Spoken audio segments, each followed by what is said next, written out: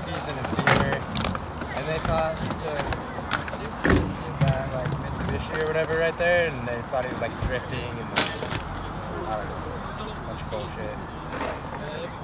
And apparently he doesn't even have a car or a driver's license. like, I don't even know.